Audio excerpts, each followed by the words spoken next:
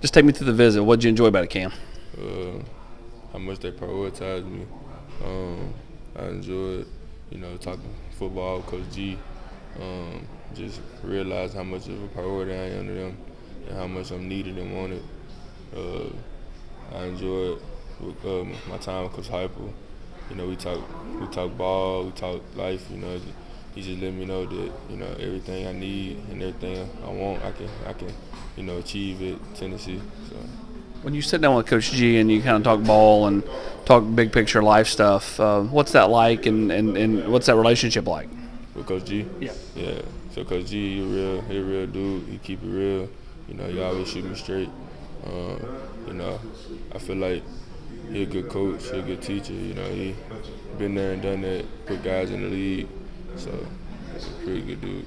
You've been here a handful of times, but obviously a longer stay this time, and you get to do some different things. Anything that you got to see that you maybe hadn't seen before? Or? Just really like more side of it, like how the players enter, like how the, I guess how the players live. Like I got to see it two nights in a row. Uh, so you know, just hang with the players, hang with my host. Like it was cool. Like um, you know, I enjoyed it. Everybody loves going out on the water. What what uh, what, what what were your impressions going out there on the river and going the, going the lake, and, and then you know, you know what else just stood out about the visit?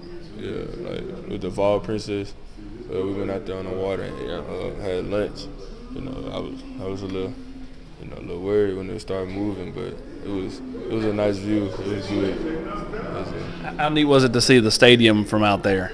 it was real good. Uh, I actually got to see it last night.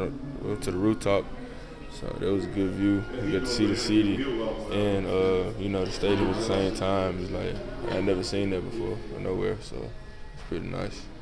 Where would you put Tennessee at in this thing as we uh, kind of you know hit the stretch run of the recruitment?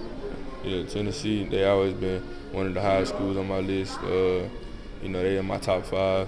I, uh, you know, like they gon' they gonna remain in the top five after the OV. I was impressed, but you know, I'm still weighing my options up.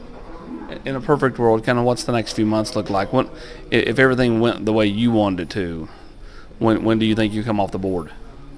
I'm not sure.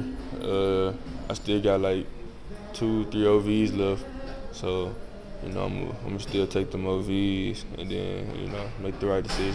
I was going to say, I know you've got some officials scheduled in like September now, right? So you're definitely waiting that long to, to take all those visits before you decide. Probably. So I, I'm not really sure, but it's a possibility that it could be before. It's a possibility after. I'm just whenever I feel time right. Do you, do you know what you're trying to find? Do you know what you're looking for? Home, a home, place that I feel comfortable at, place I can come play at, come contribute. You know, a place I can just be me, a place I can be great at.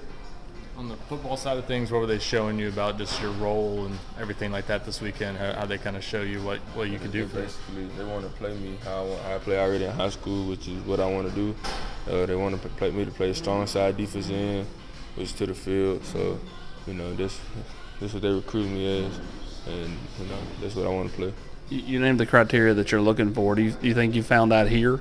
Yeah, I feel like you know they checked off uh, some boxes for real. Um, them um, from the last place I visited, Miami, like they both in the running. Yeah. What's what's the main thing you like about them? Wow, you said they've been you know one of your top schools for a while. What's what's the main reason for that? Tennessee. Yeah. See, they've been one of the schools that's been recruiting me since my first, like I first started coming out, like 10th grade. So you know, I just built good relationships with Coach Heupel, um, Coach Banks, and um, Coach Garner. So just relationships.